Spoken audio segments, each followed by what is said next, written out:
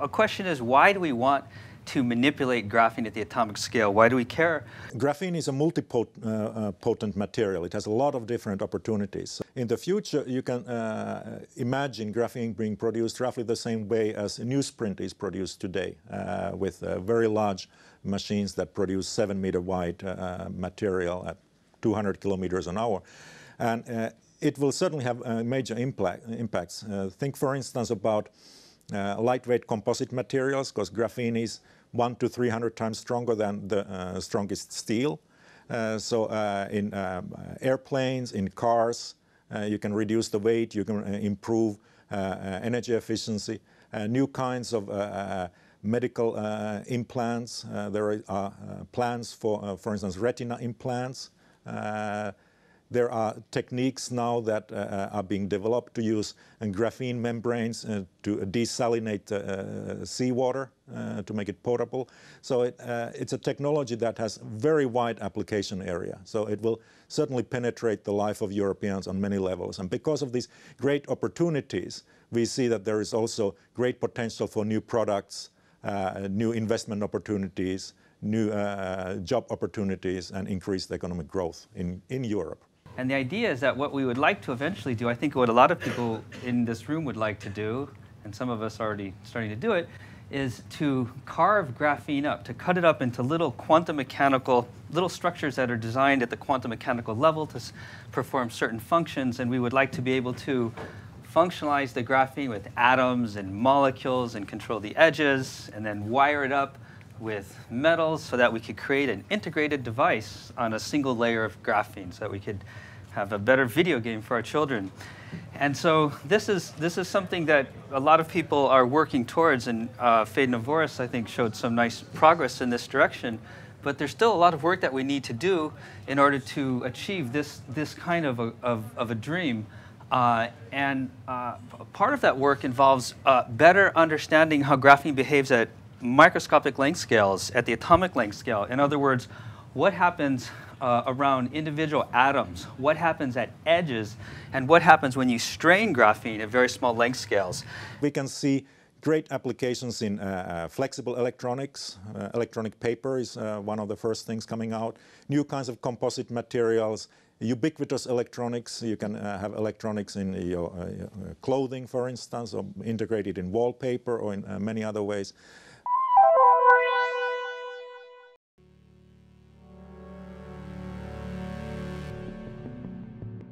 Theory had shown that graphene wasn't possible to exist in nature, it wasn't stable, then many people didn't think to look for it as a true two-dimensional material. And uh, Andre and Kostya decided that this was not necessarily true, and so they went looking for it. And the way that they went looking for it was using, as you've probably heard of the Scotch tape method, which involves sellotape and a piece of not pencil, but of high purity graphite. How do we go from this layered material to getting a single layer, a layer that's only one atom thick, um, a layer of graphene? It's actually surprisingly simple. You need to use a simple piece of sticky tape, and we use, this, we use the tape to pull the layers of graphite apart and every time we pull the tape apart, we break our graphite up. We're cleaving it, pulling apart the layers. So the pieces of graphite we had in here originally would have contained many thousands of layers.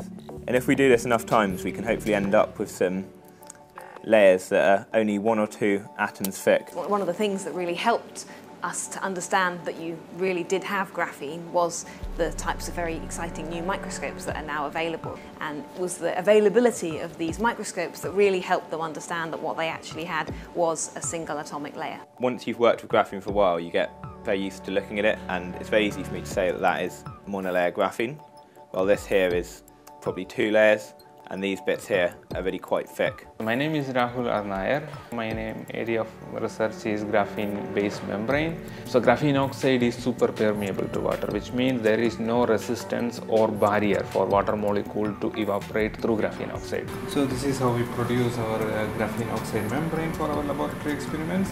So we use this kind of porous support material to deposit uh, graphene oxide sheet to make a freestanding membrane. So you use porous support there, then you pour graphene oxide solution over here. So this is a graphene oxide solution in water. It has single layer graphene oxide dispersed uh, in pure water. Then you use this water on top of this porous alumina membrane. Then you uh, you start pumping using a vacuum pump. Then you remove all liquid water through this al- alumina membrane and your graphene oxide sheet get deposited on top of this alumina. And finally after drying you can peel it off this freestanding graphene oxide and uh, you can study membrane property or you can also characterize this membrane using different technique graphene oxide uh, was shown by uh, Rahul in the physics department here to have high permeability to water but to be an effective barrier to all kinds of other things. One of the ideas is to use graphene as a type of nanomembrane or filter and that harnesses the fact that graphene is very impermeable. It's even very light gases don't pass through. And that means that if we were able to tailor the size of the pores within the graphene lattice, it might be possible to produce a very selective filter, or perhaps use smaller graphene sheets and use the pathways in between the sheets in order to tailor the porosity or the permeability of the membrane. 40 years ago or so, desalination used to be based mainly on thermal methods, whereby you would use high temperatures to separate um, clean water from the, the seawater. Uh, and, and extract it that way. That was high energy, it was high cost, and some plants in the Gulf still use that method, I believe, but it's not currently what's used now. So now there's been a growing trend towards, over the last 40 years, a growing trend towards use of reverse osmosis and membrane technology in provision of desalinated water, whereby you move the seawater across a semi-permeable membrane and you have the uh, desalinated water on the other side of the membrane. And this can be a world of difference to what happens on a small scale in the lab and what happens when you have football fields worth of membrane area on a real plant. So there are many challenges to actually getting a new membrane material accepted and used commercially on an industrial scale.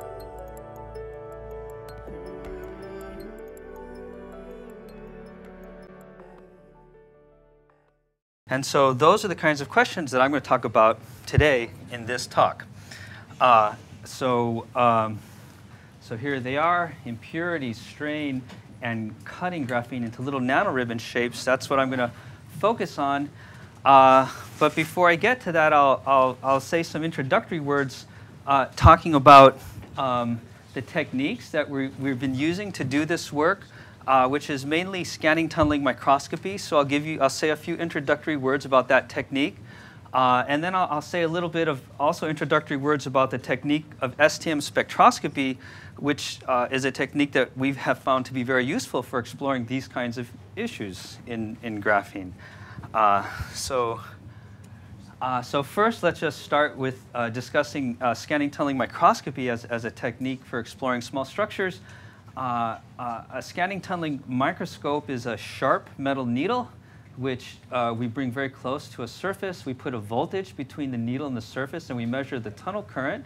And the rate at which these electrons tunnel from the tip to the surface is proportional to the lo electronic local density of states of, of the structure beneath the tip.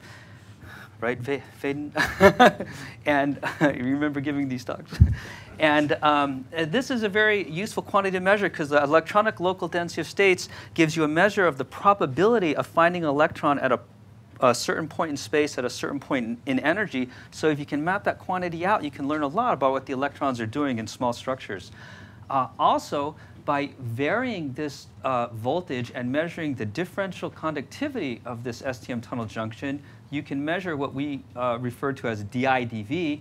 And by measuring that as a function of uh, the voltage between the tip and the sample, we can measure the energy dependence of the local density of states beneath the STM tip. And that's what this little cartoon is meant to show. And here, V equals zero is the Fermi level, and these are filled states, and these are empty states.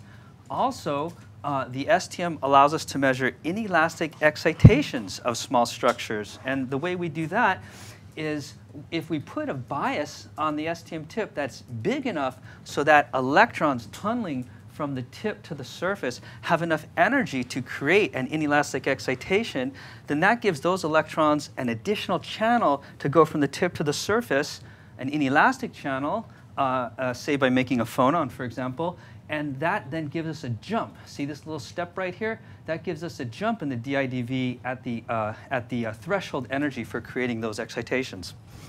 So this technique has been used a lot over the years to study uh, graphene uh, in, in different forms.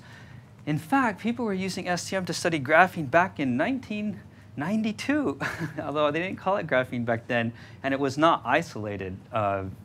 The way Geim and Novoselov have since isolated it. Uh, uh, this is people used to study graphene on metal surfaces a long time ago. Uh, more recently, people have been studying graphene with STM on other substrates such as silicon carbide, silicon oxide, and more recently, uh, boron nitride. And I'll, I'll, say a little bit about that. This is data from the Georgia Tech group, the Columbia group. This is some data from my own group. And there's a lot of groups around the world that have been using STM to look at graphene. And here I've just listed some of the people uh, who are doing nice work with STM, but there are others too. I'm sorry if your name is not on there. Um, so uh, in my own group, we're very interested in using STM to perform local spectroscopy on graphene. And so a few years ago, we set out to perform uh, STM spectroscopy on gated graphene devices such as the one that you see here. This is a photograph of a little device we made with Alex Zettl's help. Uh, this is a graphene flake, and we can gate it from the back and perform uh, STM spectroscopy. And what we expected to see when we did this experiment a few years ago was we expected to see uh, uh a V in, in the local density of states, in, in the DIDV, because the local density of states of a material often mimics the total density of states, which is linear for graphene, and so and there's the Dirac point, and so that's what we expected to see. But when we did the experiment, that's not what we saw. In fact, we saw something that looked kind of different. Uh, here I show you the data, uh, what we actually saw. This is a plot of DIDV versus bias voltage between the tip and the surface. Uh, this is uh, the Fermi level, and, and here we have filled states and empty states. And each of these curves is measured at a different gate voltage, and we're becoming more and more p-doped as we go up each additional curve. And so the density of states is sort of shifting to the right uh, as you go up those curves due to the gating. Uh, and, and, and here we saw, some, we saw two features. One was this gap-like feature that's pinned to the Fermi level, uh, and the other is this asymmetric dip off to one side.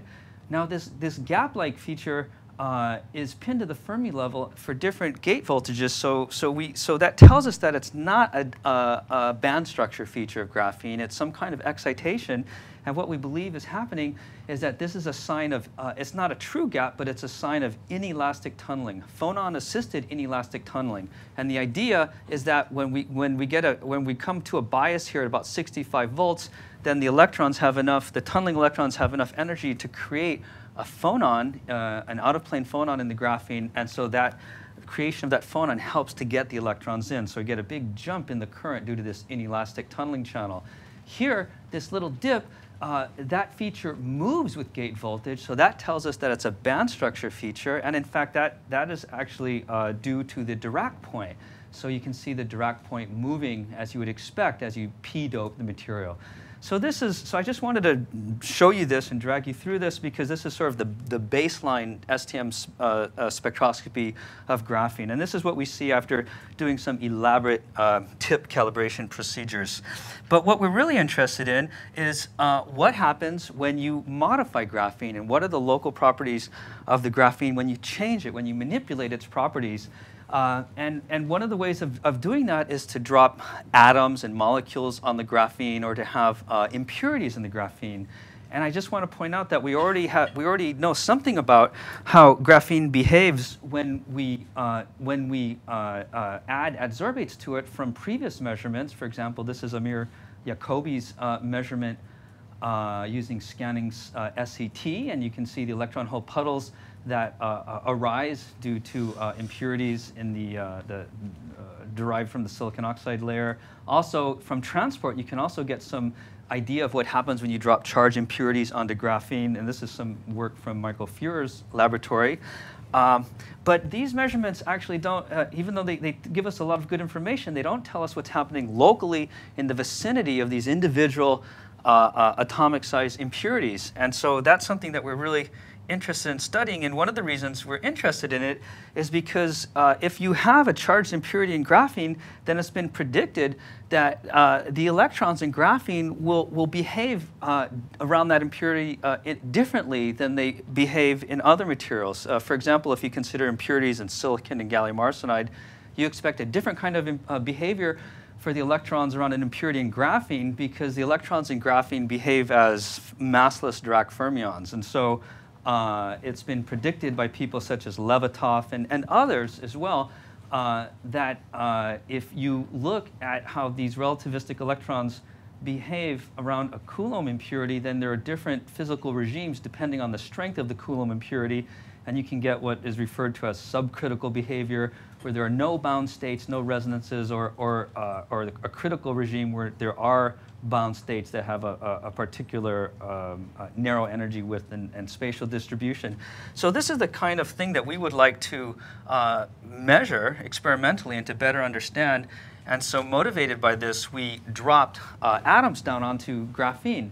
Uh, we dropped different atoms, uh, and, uh, and what, one of the first atoms that we looked at is cobalt. And so we dropped, we evaporated cobalt atoms down onto a gated graphene device um, at low temperature so that the atoms would stick and would not move all around. And then we took uh, STM images of it. And so here you see an STM image of a gated graphene device on silicon oxide where you can see two cobalt atoms. There they are. Uh, and what we did was we put our STM tip on top of those cobalt atoms so that we could measure their electronic structure. And so here I show you that electronic structure. So this is the electronic structure of a single cobalt atom sitting on top of a gated graphene device. This is DIDV as a function of uh, sample bias. Here's zero, that's the Fermi energy. And e each of these curves is, we're, we're p-doping the sample, so we're increasingly p-doping it as we go up. Uh, so you can see there's a lot of features there. There's a lot of resonances there. That, this is all due to the electronic structure of that atom just sitting on cobalt. Um, and so um, there's, it looks kind of complicated, but it's not so bad. Uh, there's really three main features. Uh, uh, uh, this, this first feature here at the center, at zero, there's this dip at the Fermi level, which uh, is gate independent. And, and we believe that that dip is simply an inelastic feature due to the vibrations of the cobalt atom. So I don't want to focus on that in this talk, unless you force me to. but uh, what I'd rather focus on is these uh, uh, these other features, these, uh, these features with, which change with the gate voltage. Uh, and so in order to, to understand those better, I've plotted the energy of all these resonances here. This is the energy versus gate voltage, and I've also plotted the Dirac point, how it moves with uh, gate voltage. So you can see that some of these features move with the Dirac point and other features don't. They move opposite in energy of the Dirac point.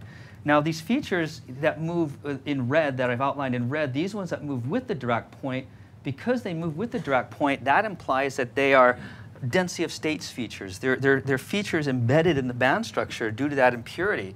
And so the idea, uh, which you can see in this little cartoon, is that the cobalt atom uh, if you take the cobalt atom, an isolated atom, it has atomic energy levels. And so if you take that atom and you stick it, on, you drop it onto a piece of graphene, then those atomic energy levels are going to hybridize in some way with the graphene, and that's going to lead to defect uh, states, which I have drawn schematically here. So this is not the result of a calculation. This is just a cartoon. Uh, and so here, here are, are defects, defect states in the density of states of graphene. Now, we can see those defect states with the STM in our spectroscopy, and something that's kind of nice, uh, something that's kind of new, I think, is that we can change the energy level of those defect states with the back gate. So we can gate gate our atom, we can gate the surface, and we can move those defect states up and down in energy. And the reason that's significant is because that, if we put, that allows us to fill or deplete those, those defect states with charge. So here, for example, uh, I'm showing you uh, a scenario where we've gated the, the sample at a, gate, at a gate such that these defect states are below the Fermi energy, and I have uh, a negative sign there to indicate that they're filled with charge, negative charge, because they're below the Fermi energy. And here you can see the actual data. This is the DIDV versus voltage, and th these are the impurity states below the Fermi energy. Now here, I'm showing you the, uh, uh, uh, the same atom, but, but with a different gate voltage. So now those states have been pushed above the Fermi energy, and I put a little plus sign there because now the charge has flowed out of those states. So now we've depleted, we've, we've removed charge from, the from that uh, uh, cobalt defect. And here you can see that in the data. Here are those same states, but now pushed above the Fermi energy here. Now, you might also have noticed these other little uh, uh, states right here, right, that I've marked with the S, that those, those states are due to tip-induced charging of the defect. And uh, the, a, a, nice way to think about it is uh, we have an atom sitting on the surface. We gate the sample, and that, can, that determines a charge state for the atom. But then we can bring the tip in, and the tip is also a gate. It's a movable gate. It's another gate. And we can bring that tip in, and then we can use the tip to change the, the, the charge on the, on the atom. For example, we can either, uh, for example, here, uh, in, in this case, I have electrons in the defect state, but I can, at this bias voltage, the, the STM tip is sucking the, the electrons out of the atom, and that's why we get this little bump. Whereas in this case, where I've, I've already removed the charge from the atom with the gate, at this bias voltage, the STM tip is pushing electrons into the uh, atom, and so that's why we get a, uh, this little bump. So, uh, so this is kind of a nice new capability that we have, which is to control uh, the charge state of this defect using the backgate. Uh, and, and one of the things that we would like to do with this new capability is to uh, use it to investigate how Coulomb, in, how, uh, um, what happens in the vicinity of Coulomb potentials on graphene. Uh, because now we can change the charge state, and what we would like to do is then measure around these charge impurities what the electrons are doing in the graphene. So that's something that we want to do. But we have problems. Nothing is ever perfect. And, what, and the problems that we've been having, because we've been trying to do this, one of the problems that we have is that the graphene is so inhomogeneous. These, this is a, an STM image of the electron hole puddles in graphene that you've already heard about.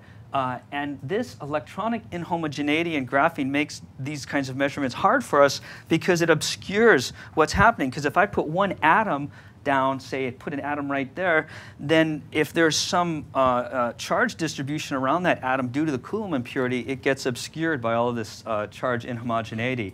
Another issue that we have is that the, the, uh, this is a problem we have with cobalt atoms, is that the impurity itself uh, has, uh, has what we call a, a, a, I might call it, say, an, uh, an inhomogeneous charge state.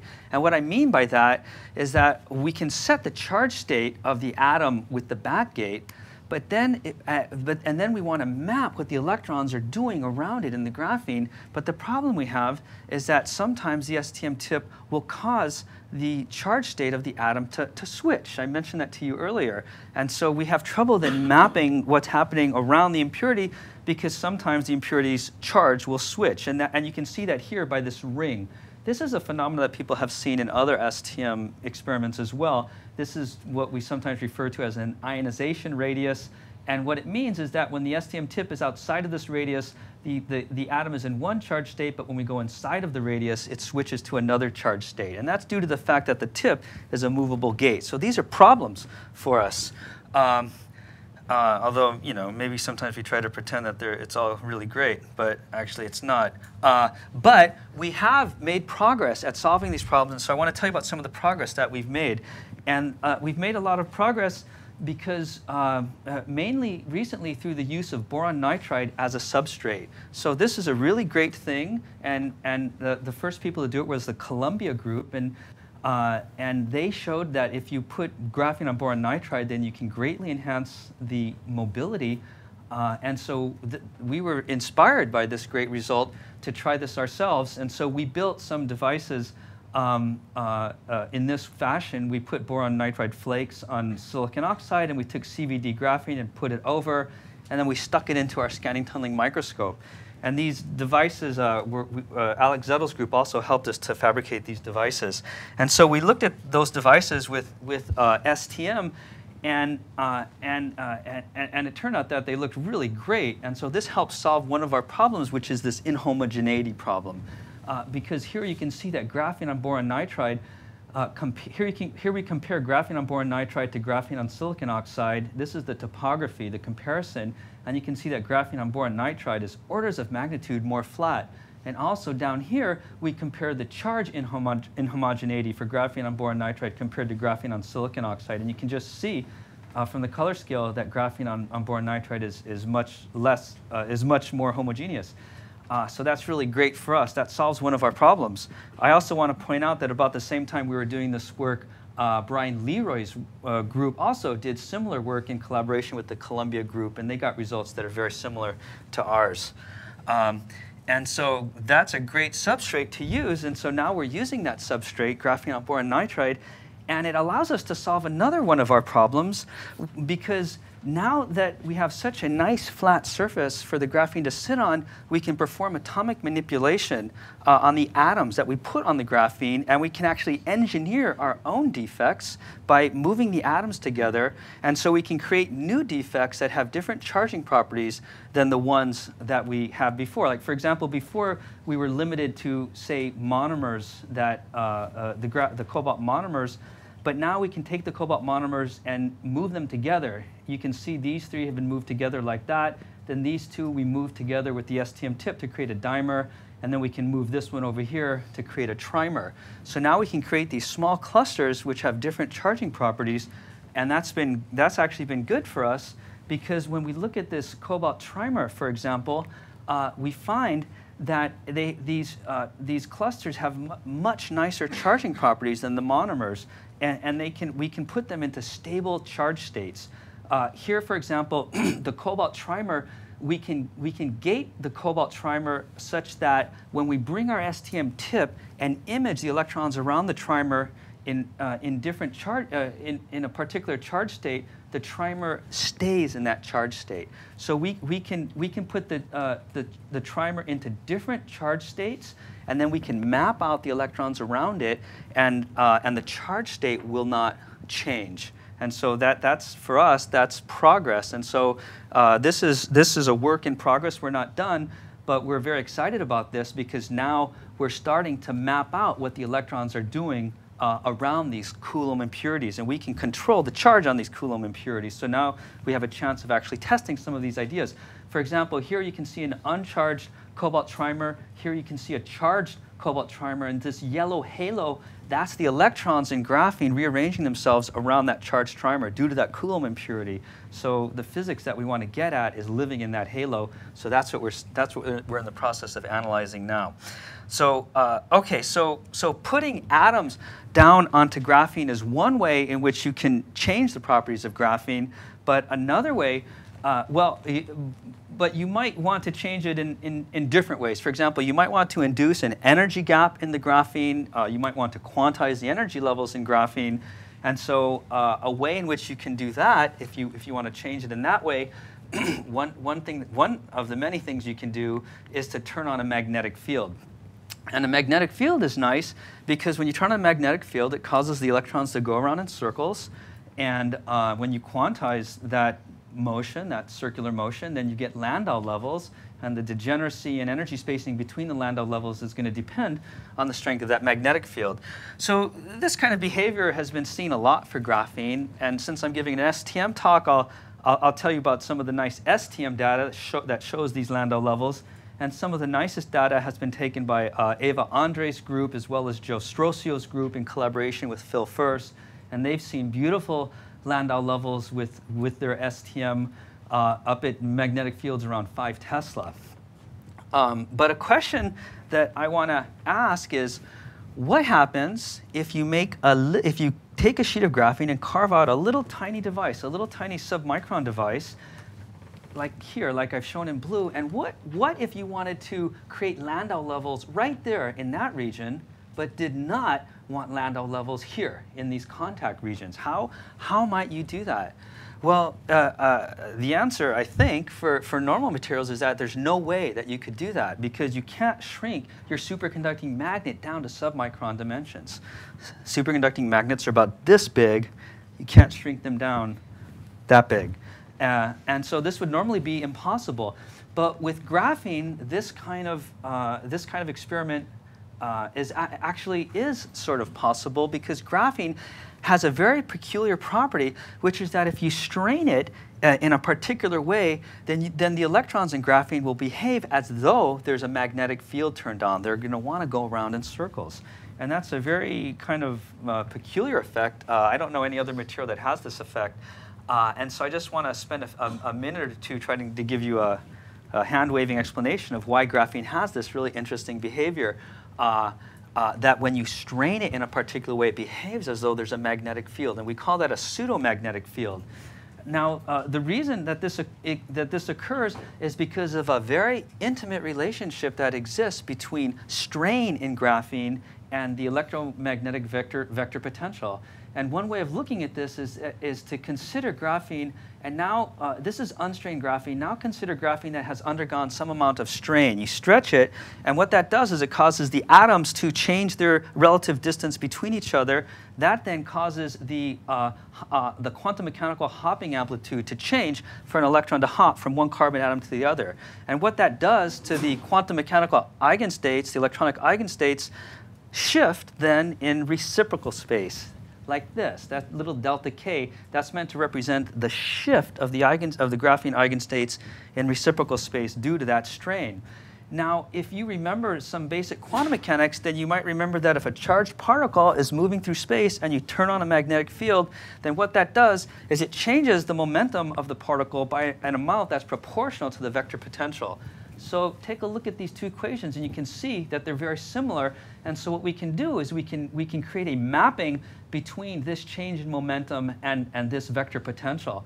And, uh, and if you're smart and you work through the details, as, as smart people have done, then you find that, uh, that for a particular strain, for a particular strain tensor in graphene, uh, you, that will lead to a pseudo vector potential uh, that I can, you can write down as I've done here in this formula. And you can see that the pseudo-vector potential depends on the uniaxial strain or, or, the normal strain components as well as the shear strain in, in this way. You can then take the curl of this, of this pseudo-vector potential and that will create a pseudomagnetic field. And so the electrons will then feel that pseudomagnetic field, which arises purely due to strain, even in the absence of an actual magnetic field.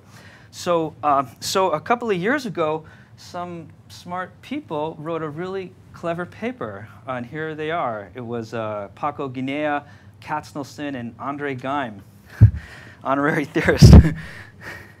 and so uh, this is a really nice paper where they came up with uh, this uh, clever idea of taking this mapping and they figured out a particular um, strain geometry, in which case the resulting pseudomagnetic field would lead to a constant magnetic field, which would cause the electrons to go around in a circle, leading to Landau levels, pseudo-Landau levels.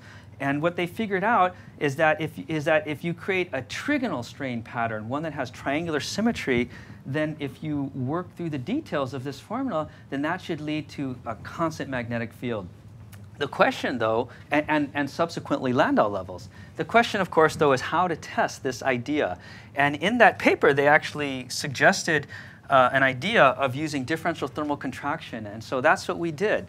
Uh, and, and so we, we tested this idea by, uh, uh, uh by using differential thermal contraction. And the idea here is that if you put graphene on a substrate and then cool it down, Graphene does not shrink that much when you cool it down, whereas other materials will shrink more, and that can lead, that can lead to large, uh, a large buildup of strain in the graphene, which uh, could then uh, provide possibly highly strained regions which might show some of these effects. So that was actually an idea that they mentioned in their paper. And so we, we tried out this idea by um, uh, epitaxially growing graphene on platinum at high temperature. Uh, and then we cooled down the graphene and looked at it with our STM. And I just want to mention that other people uh, ha have grown graphene on platinum long before us, and so we copied their recipes. For example, Kohmschild's group and Salmeron's group. So we just copied their recipes uh, and grew it, and then we looked at it at low temperature, and we saw something kind of interesting. Um, this is what we saw. This is an STM image of graphene grown on platinum 111 this, this region right here is a patch of graphene. if you can see the outline of it.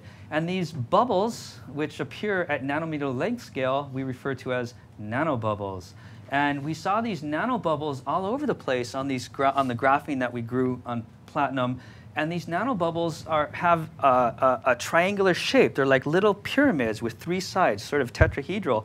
And what we saw, we, we then did spectroscopy on this surface, and when we did STM spectroscopy away from those nanobubbles, the spectroscopy was pretty featureless and, and, and pretty boring.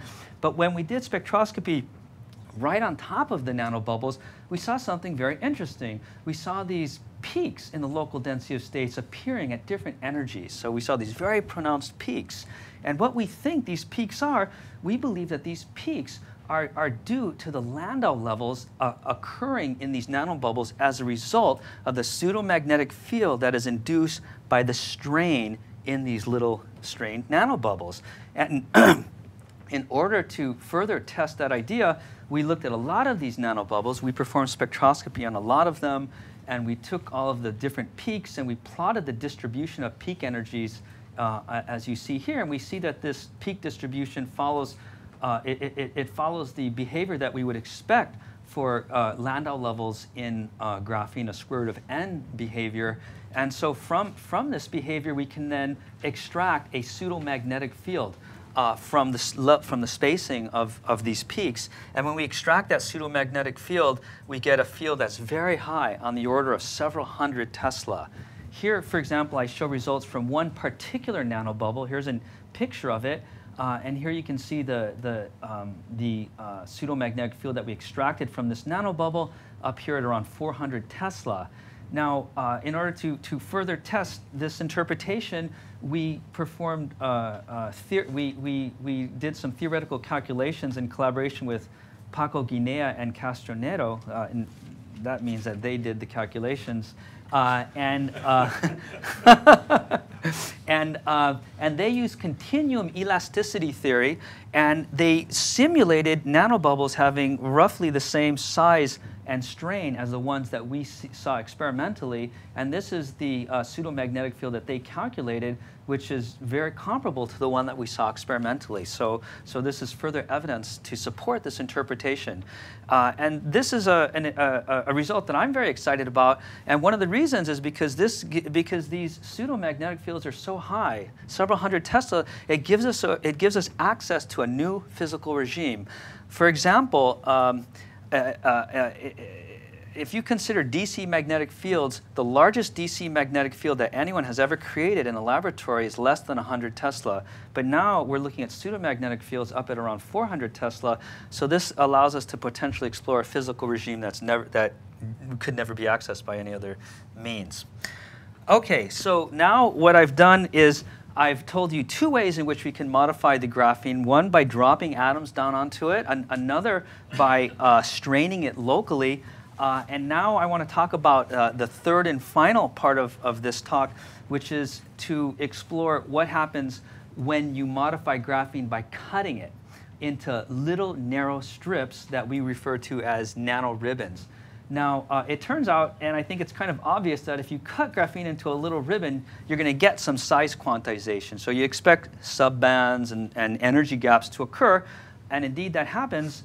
Uh, but there's also some other physics that occurs, which is, I think, not so obvious, which depends on the details of this edge. You can get some very interesting physics depending on, on, on, on the symmetry of the edge, and so I want to talk about that a little bit.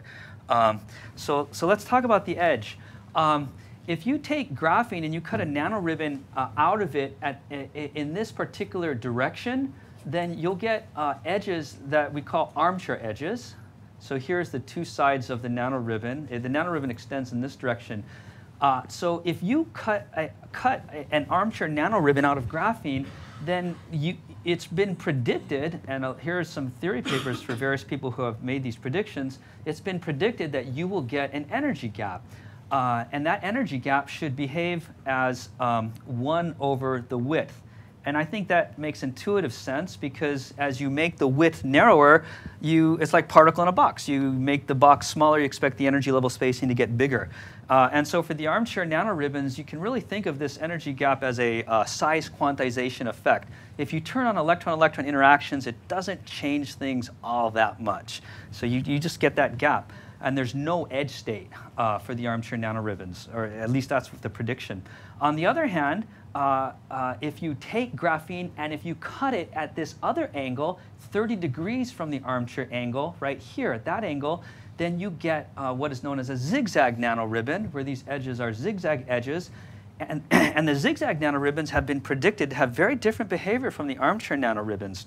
For example, in the absence of electron-electron interactions, it was predicted a while ago that you would get uh, that you should get one-dimensional uh, metallic bands that are localized at the edge, edge states. And these, since these edge states are metallic, then uh, it was initially predicted that you should not even get uh, an energy gap for a zigzag nanoribbon.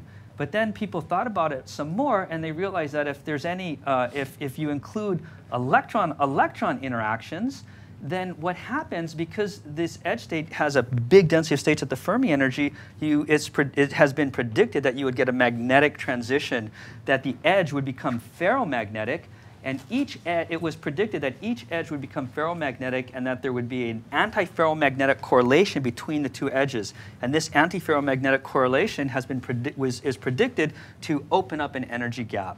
And that energy gap was predicted to vary as 1 over width. So, you, so here with the zigzag nanoribbon, you also are expected to get a 1 over width energy gap dependence, but for very different reasons, very different physics. And, and I, I just want to point out that some of these ideas have been thought about since, since the mid-90s, and Millie Dresselhaus is on some of these early papers. So some of these ideas are, are, are due in part to her. Um, so the question then is how can we actually um, uh, uh, experimentally measure this kind of effect. It's kind of tricky to measure this kind of effect because to really uh, do it right, you need to do two things simultaneously. You need to measure the electronic structure of the nanoribbon while simultaneously measuring the uh, geometric structure at the atomic length scale. Uh, you have to do both of those things. And so that's a, that's, a, that's a big challenge to do both of those things. But people uh, have been trying and have been investigating this system for a number of years. Here I show some, uh, some work a few years ago done by Philip Kim's group where they use transport measurements to look at the electronic properties of nanoribbons that they uh, defined lithographically. Uh, and they were able to see some uh, uh, energy gap behavior uh, and other groups uh, did measurements as well on nanoribbons, such as Phaedon Avouris' group and others. Uh, so transport is a very nice way to measure electronic properties of, of nanostructures, but one of the problems is that it doesn't tell us what the local geometrical structure is. So it's hard to know what the edges are doing in these nanoribbons. For example, it's hard to know the level of disorder at the edges, whether it's armchair or, or zigzag. And so uh, because of that, that then motivates people like me and, and, and people like me who like to use microscopy. And so luckily transport doesn't measure everything, so there's still some stuff for, for me to measure. Uh, and uh, other people uh, have been doing microscopy on these, uh, uh, these, uh, these, these graphene nanostructures for many years. Here's some early STM work uh, and one of the earliest things that people did was to look at the surface of graphite, because if you can look at the step edge on the surface of graphite, that can give you some insight into the, the behavior of uh, graphene edges. And so that work was done uh, er early on. More recently, people have been looking at graphene nanoplatelets put on different materials. People have been doing TEM of graphene edges. And there's been some very beautiful recent work by Klaus Müllen's group making nanoribbons using molecular precursors I think is really pretty cool. Um, and in my own group, one of the, our, our strategy, uh, this, what, what we decided to do was to look at nanoribbons that were made by unzipping nanotubes. And the idea, uh, the hope, was that by looking at nanoribbons made by unzipping nanotubes, the hope was that this would leave the edges pristine. Uh, and, and, and uh, and so that's what we wanted to do was to look at nanoribbons with nice edges. And we, my group, we don't do the unzipping. We don't, we don't unzip nanotubes. but there are other people who know how to do it. For example, one of the first groups to do it was Jim Tour, J James Tour's group. Uh, they developed a way uh, back in 2009 to unzip nanotubes to make nanoribbons. And more recently, Hongjie Dai's group has developed a new method for unzipping nanotubes that involves uh, sonicating the nanotubes in a, in a special kind of way. And so what I want to show you now is, is some results that we got looking at, at these nano ribbons. And here's the recipe for how to make them in this paper. So Hongjie Dai gave us some of these nano ribbons, and we spun coat them onto clean gold crystals, and we looked at them with STM, and this is what we saw. This is a, a room temperature STM image of a single nano ribbon uh, on gold, and, I, and, and um, it's a beautiful nano ribbon. Believe me, we've looked at a lot of unbeautiful ones. Uh, this is, and, but, but using this technique, the nanoribbons are, are, are almost always really nice. So you can see that it has very nice straight edges. And when we take a, here's a cross-sectional slice at this little black slice right there is, is this cross-sectional slice. And you can see that at the, at the, near the edges, we see this curvature which we, we did not expect. It was kind of an unexpected feature. And it, that kind of threw us off at first because we thought that maybe we were seeing crushed nanotubes or folded or graphene that was folded under. So we, but we put a lot of effort into looking at uh, different samples and it fold, we actually investigated folded nanoribbons to really see what's happening at this edge. And we determined uh, that uh, we, we determined that this edge is not that this edge we see here is actually not folded under. It's not a crushed nanotube and it's not folded under. We believe very strongly now that what we're seeing is an actually is a terminal edge, as I show in this little cartoon, uh, but we just happen to have some curvature right here at the edge. Uh, and, so the, and so now that we know that we have these nice terminal edges of our graphene nanoribbons, we can uh, uh, look at them with higher energy, higher resolution at low temperature and, and, and, uh, and investigate their atomic structure and their electronic structure simultaneously. And that's what we did. So here I show a high resolution STM image taken at low temperature of the edge of, of, a, of a nanoribbon that has a width of, of 20 nanometers. And I'm just I'm just zooming in on the edge. So this is the edge, this is gold, and this is the nanoribbon, this greenish stuff, and this orange means that it's taller here. Uh, and, and this is the edge. So first I want you to see that we have a nice, straight, well-ordered edge.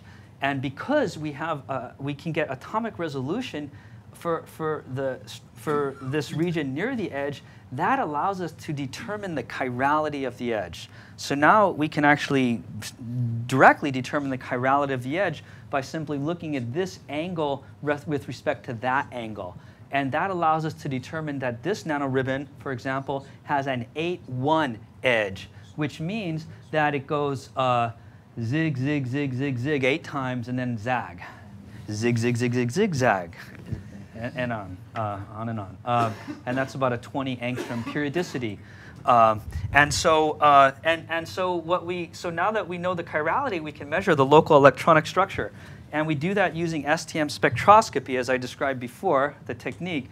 Uh, and we perform STM spectroscopy at the edge and then uh, at points as we move inward toward the center of the nanoribbon as we move in from the edge. And here I show the data. This is a plot of DIDV versus voltage.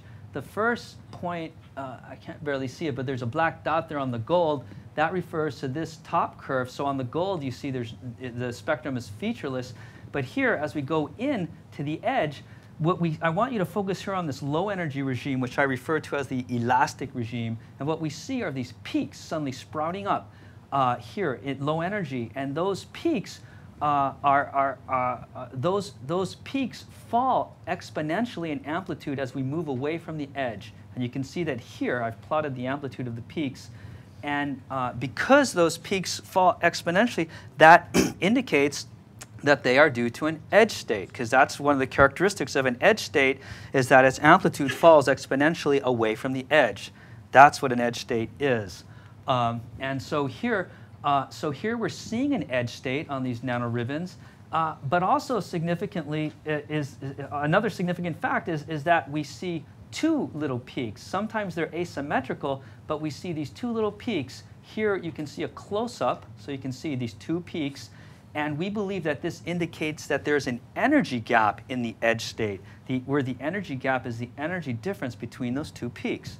Uh, and so we measured these, uh, this behavior on many different nanoribbons, and we saw that for different widths of nanoribbons, we got a different energy gap. And so here I show that data. We see that the energy gap gets bigger as we decrease the width of the nanoribbon. So we see a 1 over width dependence on the energy gap of this edge state.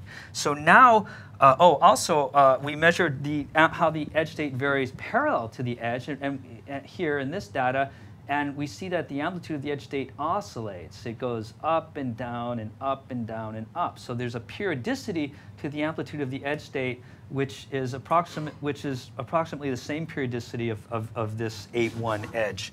So now we have um, the atomic scale structure and the electronic structure of the edge. So now we can start to compare our results to uh, theoretical calculations.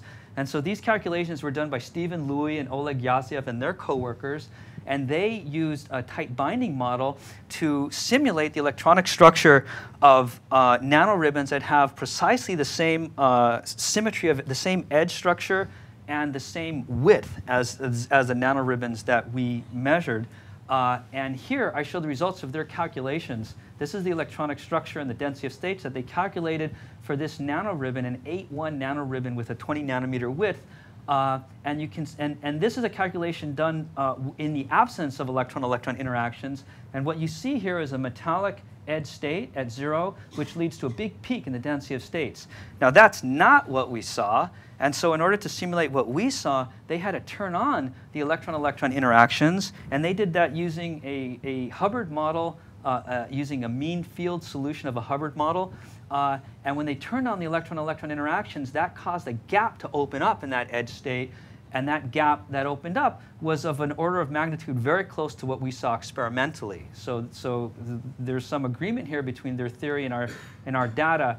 And I just want to mention to you what the physics is. What's happening as they turn on the electron-electron interaction, that's causing that edge state to become magnetic. So the, the edge, each of the edges becomes magnetic. They become antiferromagnetically correlated, and that antiferromagnetic correlation causes this gap right there to open up. So that's, that's what happens in the model. So we, we actually saw that same gap in our experiment, but we, in the, in the model, it arises due to magnetism, but we have not actually seen, we have not measured magnetism in our experiment. We just see the gap. So we, we can also compare, uh, uh, now that we have this nice theory, we can actually compare the, uh, our other results, the spatial dependence of the edge state, to, to their theory. So here's the spatial dependence as we move perpendicular from the edge, parallel to the edge, and the width dependence of the edge state energy gap that we measured experimentally. And here's what they calculated using their tight binding model. Uh, in red is the theory, and, and, so you can see there's pretty good agreement between uh, experiment and theory here. So I feel that this is very strong evidence that we are seeing an edge state for these graphene nanoribbons, and this edge state has an energy gap that is width dependent. So that's where I want to stop. Uh, and I'll stop just by concluding that I think carbon still has a few surprises left. I've told you a little bit about what happens when we sprinkle atoms down on graphene, uh, how we're able to measure pseudofield effects on graphene, and how uh, we have uh, discovered the presence of an edge state on chiral graphene nanoribbons.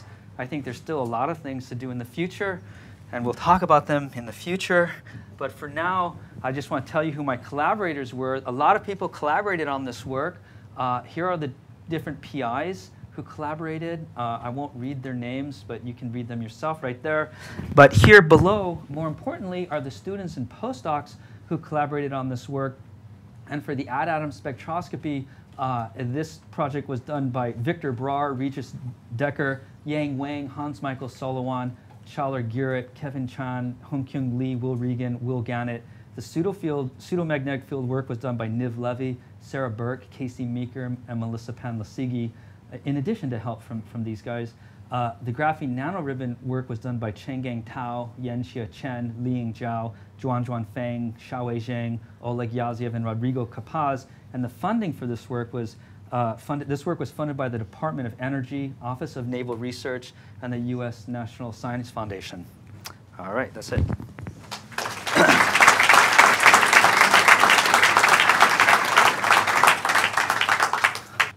Uh, we still have some work to do. Uh, I'm gearing up to do it. Uh, we, I mean, at least we have the sample processing down. That's that's good. That that's you know, uh, the hardest at some level the hardest part. We know how to prepare these samples, but now we have to start preparing the tips. And uh, and the, and and part of the problem is that the the system where I'm doing the add atom, moving the doing the atomic manipulation of the atoms, that's the same system that I would use for the spin polarized STM. So. I'd have to, you know, we want to finish up that project before we do the spin polars. Because, you know, it depends on the anisotropy energy. I do not expect a strong high anisotropy energy for the cobalt. And this is at 4 degrees Kelvin. Yeah, but I don't have a magnetic field. I know, I'm the only guy. I'm like one of the few guys who doesn't have a magnetic field. I have no magnetic field. I have a pseudo-magnetic field.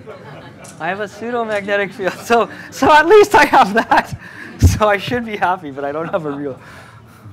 Um, first, I, I want to point out that we do not know what is the actual termination. You know, you know everything that I know because everything I know is right there, right here on this slide.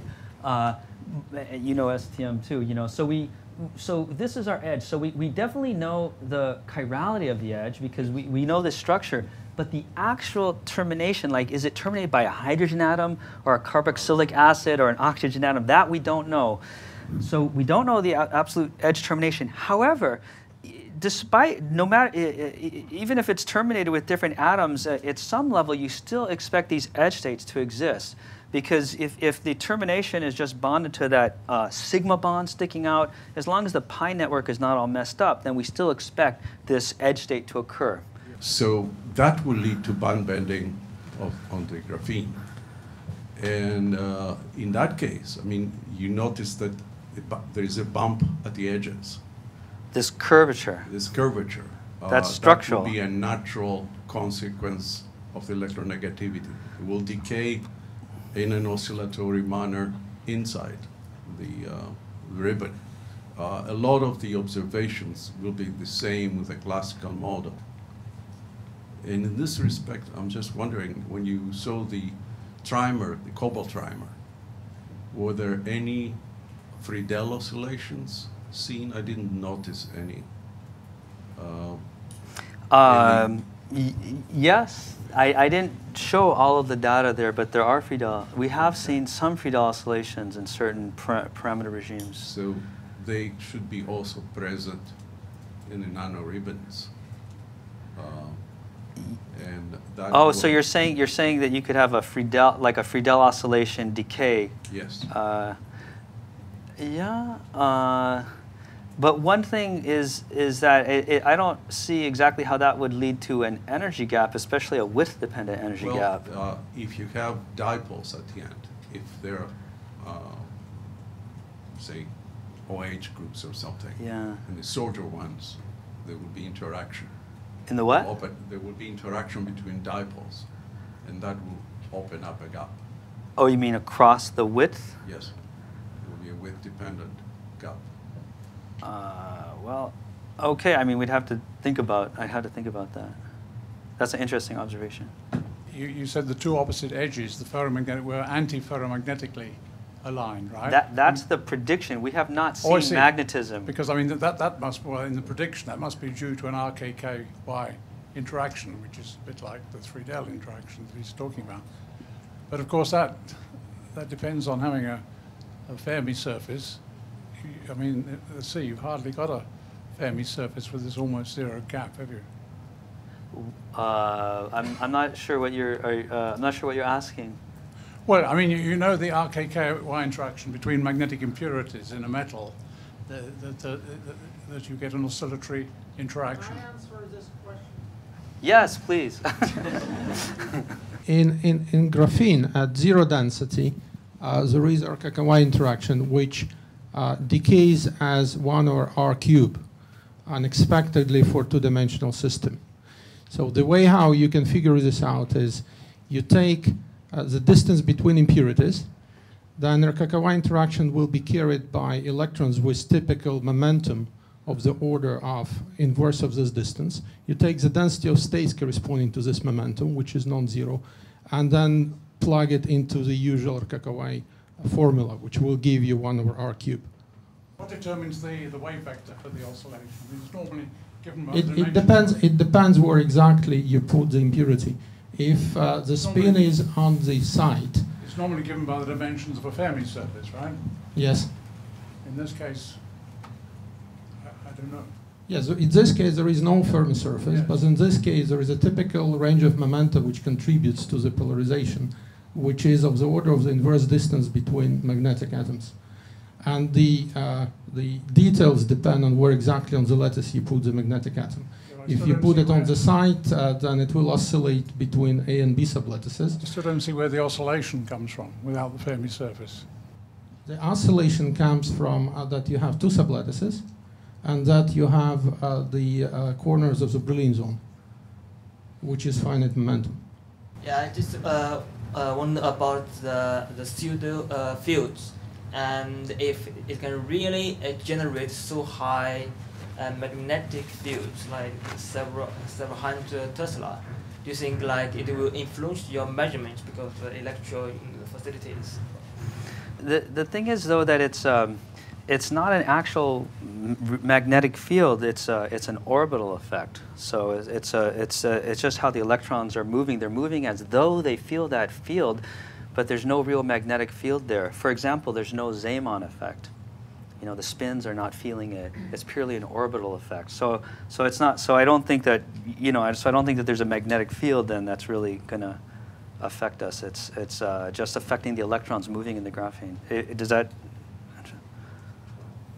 So also related to that pseudo field, do you expect a, uh, a quantum Hall effect as a result of it? Uh, if you say it's an orbital effect, then quantum Hall effect is an orbital effect. Uh, but yeah, I mean, but in these, uh, but we're just looking at the, these very small regions. You know, So just it could these. be a way of measuring a quantum Hall effect in, in zero field. Uh, yeah, I, I, you're saying if you could perform transport measurement on it and on, on just those strained regions, yeah, I think in principle you, you should be able to do that. You should expect an effect on transport from this pseudomagnetic field. But I measure no effect on transport uh, for reasonable wrinkles of a few nanometers. Um, it, it doesn't show up. Um, is there any critical angle of the, of the curvature? A typical scale to get a field of one Tesla would require a strain of, uh, say, 1% over one micron distance. So it, the fields are so large because Michael's uh, bubbles are so small and strain within those bubbles, I believe, 10% or something like that. So, okay. And you know, when you have one Tesla field, it's, uh, it's, it's probably in typical samples on silicon oxide, they're just covered uh, by impurity effect. It can also depend on the symmetry of the strain field because this is, I think we kind of got lucky here. It really has this trigonal symmetry because it's the 111 FCC. Yeah, exactly. If, exactly. if you just have a uh, homogeneous strain, it would, would be plus minus field and it's cancel each other.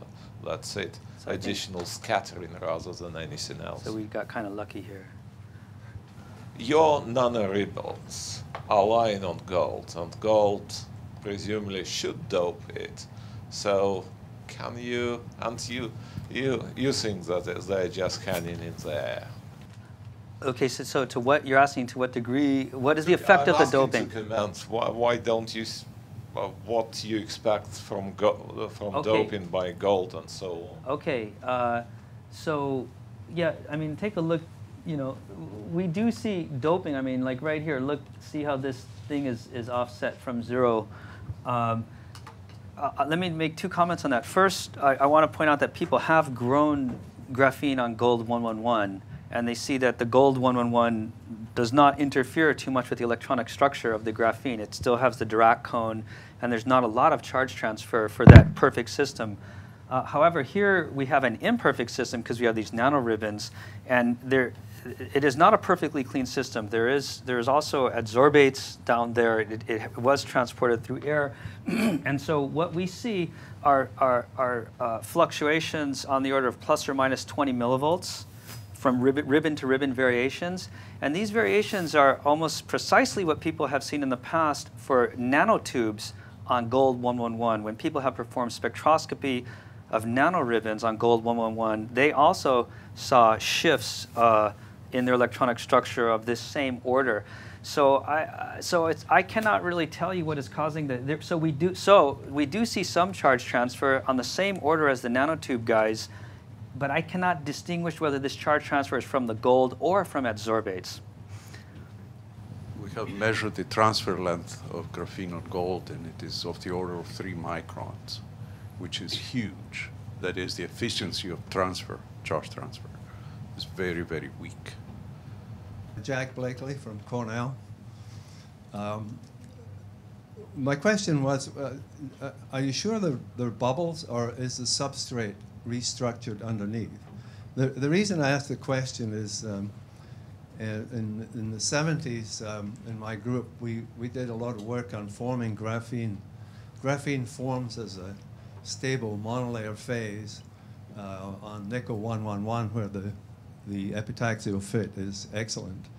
But if you go off that orientation, then it's, you still get the same phase transformation, but it's accompanied by um, formation of, of pyramids on the substrate. In other words, the, the whole substrate restructures with, uh, to form, to expose 111 facets on which the graphene then grows. And um, so my question was, uh, are, are, are they bubbles or are they just uh, pyramids of the substrate covered with graphene? Well, I mean, um, we tried tearing them apart, you know, to see what was underneath them, but it got kind of messy, you know. So that was, you know, that would be the uh, obvious thing to do. Uh, so uh, we weren't able to, we were not able to peel it back. Uh, I think that there is not a pyramid underneath. Uh, one reason I, I, I, think that is because one of the things that we've noticed is that when the graphene is touching a metal, you know, actually in full body contact, like on the platinum or on the gold, then the uh, the, the, features, this, this electron phonon feature, the Dirac, uh, the, the Dirac feature, the Dirac point feature, they, they go away. They get swallowed up by that electronic wave function. And, and, and we're not, and, and on these nanobubbles, uh, we're seeing as soon as, as soon as we get to the edge of the nanobubble, all of these features come back. You know, we start seeing the features that we expect for the sort of the suspended graphene. Uh, whereas I would expect to start seeing, you know, the metallic, you know, the, the, the signs of the metal underneath, and, and we don't see that. I, I, uh, so, so that's sort of like a little kind of experimental answer. Uh, but other than that, I don't really know what the energy of formation is for these pyramid. You know, that, that I don't know. Sure. I, I suppose the test would be to, to actually uh, look at a substrate that was restructured, see whether you still see the same STM uh, features. And to see, but you're saying would the, the then the graphene would have to provide enough strain to, to cause the uh, platinum to uh, to do that? Well, if, if, if you go off, if, if, if, you do these, if you form the graphene at high temperatures, uh, where the, there's enough mobility, atomic mobility uh, of the substrate, uh, they do restructure into pyramidal. Uh, oh yeah, yeah, but but but remember, people have been looking into this at room temperature for, for many years, and so they so going from high temperature to room temperature, yes. it's not seen. So it's really something that was that we saw as we went from room temperature to low temperature. Mm -hmm. Okay, good. Thank you. I mean, the effect of your pseudo magnetic field will be washed out at, at a certain temperature, right, proportional to the field, just like de Haas van Alphen is washed out. I mean, have you observed such temperature dependence? Well, it's, it's too big. Uh, the energy spacing is hundreds of millivolts. So I think that we would need temperatures on the order, you know, uh, KT on the order of hundreds of millivolts to wash it out. So really? I, I, I yeah. Because I mean, the normal normal fields you can put on de Haas van Alphen are, are, washed out at you know about 1k or something. Yeah, but these, I mean, but we have these, but we have these separations now of big, big, you know, 100 millivolt separations. How much? 100 millivolt or, or a few hundreds of millivolts. So that would be, you know, gigantic, enormous temperature. So. Okay, but you should maybe at least see the beginning of some you know, whatever is shining. If, as we start moving from 4K to room temperature? Yeah. Yeah, I, I hadn't thought of that. Have you seen anything that close to the armchair edges? We, we see a random distribution of chiralities. Uh, we would very much like to see the armchair because then there should not be an edge state. And so that would be very important uh, observation. Uh, we have, I, I can't remember the closest that we got to it, but we, we, haven't, we haven't gotten the armchair. The armchairs are very rare. You know, they're the most rare because it requires a zigzag nanotube, you know, and those are the most rare ones, a perfect zigzag nanotube, because we believe they, they cut axially. So I think it makes sense that there's not a lot of them down on the surface, but uh, we would like to observe that. One way actually that I want to try to do it is, you know, this guy Klaus Müllen, who's doing his uh, molecular precursor growth, he only grows armchair. So this molecular precursor grows only armchair nanoribbons. So we're actually trying to do that to get the armchair. Re related to that, I think if you go to the really kind of smaller width, at some point that uh, the bulk start kind of opens up the gap, and then you the should, uh, when you get into smaller width, eventually bulk gap is big enough so that you can pick up that the gap features from your spectroscopies inside of the nanoribbon, not only the edges, right? I don't. I wonder whether you can pick up those kind of bulk gap. Something like that. If I just look at the curve, say 80 nanometers, or 80 angstroms of the width probably bulk gap becomes appreciable so that you should be able to detect that using the STM spectroscopy.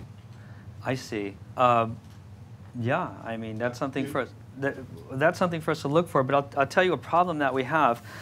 One of the problems that we have is that uh, as we go into the middle of the nanoribbon, it's in close contact with the gold. And so then we, we don't see the graphene features when we do spectroscopy when the, when the nanoribbon is, is directly in contact with the gold. So as we go into the bulk, then uh, uh, it, it, it's washed out. So we need to take the nanoribbons and put them on a different kind of um, a different kind of surface. Luckily, this curvature takes the nanoribbon off of the gold, and so we're able to see the exponential decay uh, before before the before the graphene reaches the gold. So I believe that the exponential decay is an intrinsic effect and not due to the gold but as we go further in, we, we cannot do the measurement on gold. Annette Clout from Exeter University. I just wondered how reversible your nanobubbles were. So if you heated it up, do they dis? I mean, clearly they disappear. Do they come back again if you recool down? Um, in the same places. Well, the, the, the, problem is that once we, for this particular system, we do not have the capability to warm up and cool down and find the same microscopic location. So I'm pretty sure that we've taken, I'm, I'm 90% sure that we've taken the same sample and warmed it up and cooled it down. Uh, I'm, yeah, it's actually 90, 95% sure um, that we've taken the same sample and warmed it up and cooled it down in the ultra high vacuum chamber to room temperature and cool it, cool it down, and then look at other regions of the surface. We did not do a careful study at room temperature, so I, I expect that they disappear uh, based on the measurements that other people have done, but we did not do a careful study at room temperature. We did all, all of our measurements at low temperature.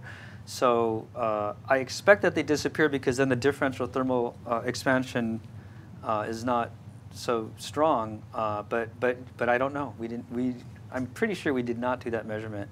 I'll have to ask my students again if they did the room temperature, but I, I'm not, I don't think we did.